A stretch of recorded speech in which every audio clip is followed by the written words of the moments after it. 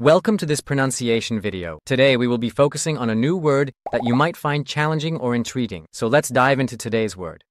Думая, which means, Thinking in Russian. let's say it all together. Думая. Думая.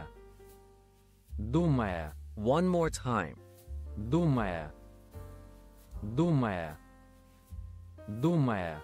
Thank you for joining us on this adventure in pronunciation. Remember, language is a journey, not a destination. Keep exploring, experimenting, and expanding your linguistic horizons. We'll see you next time.